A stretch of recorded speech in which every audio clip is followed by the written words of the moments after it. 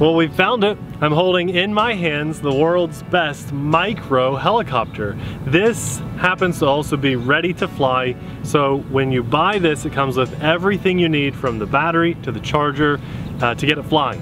You don't need anything else, not even the AA batteries, they come with the radio. That's amazing. This thing is super lightweight and really designed to fly indoors, but on this really calm evening, I was just dying to get it outside and fly it. It's a perfect little front yard flyer or backyard flyer, and I highly recommend that if you do fly this outside, you don't fly in any wind or very little. It's just a small guy, so it's not gonna fight through a lot of wind. The cool thing is, it's fly barless. So those of you that are helicopter fans, you know what that means. If you don't, you don't have that little extra plastic weight on the top that makes it fly kind of like a pendulum. This is a variable pitched blade and uh, has safe technology. So in order to keep it level, it uses a smart chip on board and that is just really cool. We're gonna put the small battery in and fly a full flight here where we do our speed tests and have some fun. Let's fly. Okay, we're ready for takeoff. If you guys are interested, we'll have this linked in the description box below. It's an amazing setup. You wanna turn your radio on first and then plug in your flight battery. I think it's throttled down and in to the right to arm it and then just go about half throttle or so and we're in the air. This is such a cool little micro helicopter and it's just very easy to fly. In a second, I'll put my hands in front of the camera and show you guys how much I'm having to do on the controls just to get it to hover. Okay, I think this is a good spot. Let's get a little closer just because we have a little bit of a wind going. There you go. That's how easy it is to fly. what a lot of people tend to do when they fly a helicopter or drone for the first time is they throttle up really high really fast. You don't need to fly full throttle. You need to hold throttle around 50% or so. And then if you want to climb higher, you can juice up and climb high into the sky like this. And really, the cool thing about even a tiny helicopter like this, a lot of people will ask this question. We'll wait for this guy to drive by here.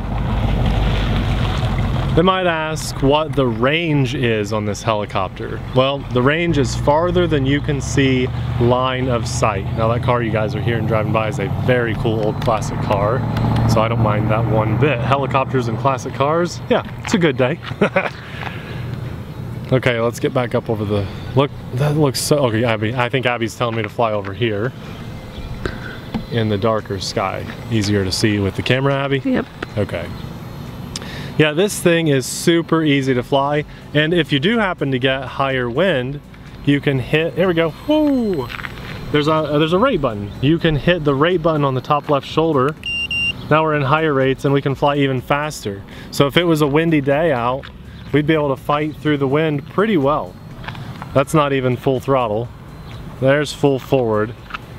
But it's really cool that this thing has the uh, self-leveling system using just a smart chip rather than a flybar on top. So right there when I take my hands off the controls it just does a really nice hover. Use the left stick to also rotate the helicopter like this if you want to make it look like it's doing some cool little stunts, simple thing. And the right stick controls forward, back, left, and right. What an easy little thing to fly. It's just a nice relaxing helicopter too. You can, uh, really the best thing about this helicopter, oh there's a close-up, is it helps you learn orientation while you're flying.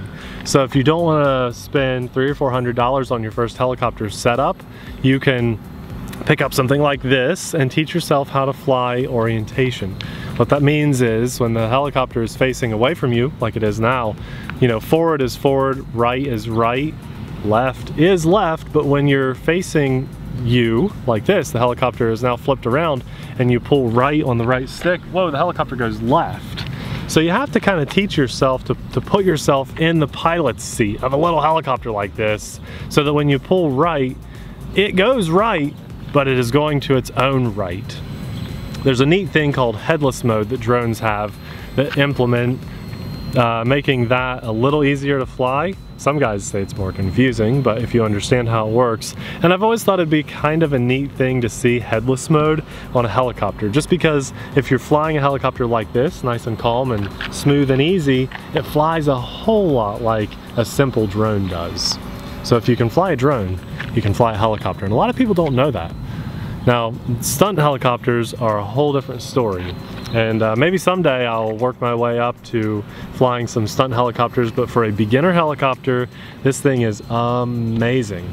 Also a good benefit, batteries are cheap and easy to come by. So if you like this helicopter, we'll have more batteries linked in the description box below too. The exact perfect ones for it. They all charge via this little USB charger. I'll show you at the end of the video here um, after our battery runs out and we land the helicopter. I'll show you the USB charger. It's a really great but simple charger. You, uh, you have a red light when it's charging and a green light when it's done. You'd be amazed at how many chargers just can't get that right let's just kind of do a little more figure eights and moving around a little bit more. Now when you kind of get into helicopters a little bit more, you start doing your flying with the yaw and the pitch. So you bank and you use what would be the rudder input at the same time and you can perform a little bit tighter maneuvers. Also, people ask, first time flyers, this is a, a common question, um, and I want to know, what's the most common question you guys get in the comments? Let me know. If you're an RC guy, what is the main question a family member, a friend, or just a bystander might ask you? I think we all have the same ones, but I want to hear uh, what the most common question is for you. Now, some people might ask, well, how many of these can I fly together, Nate? You know, if I want to get one for myself, get one for my son and my daughter, and for the three grandkids, uh, that's our battery. How many can we fly together?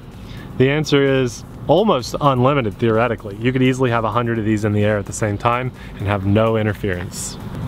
The cool thing is, even this guy driving that really cool old Dodge classic car, he stopped and parked far enough away and wanted to watch this. Even this micro helicopter draws attention. People just love watching these things fly, as, as do I.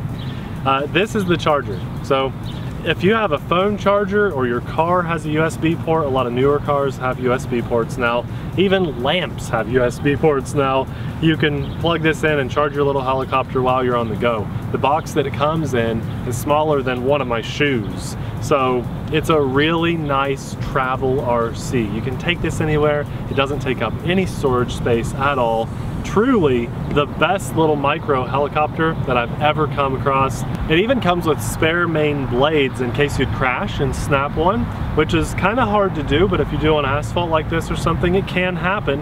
And on top of that, spare part availability is out there because it's a good company, it's a good brand. So if you want the best micro RC helicopter that you can buy, we'll have it linked in the description box below. I absolutely love this hobby and I even more love sharing it with my family and just anyone willing to watch. And for that, I thank God.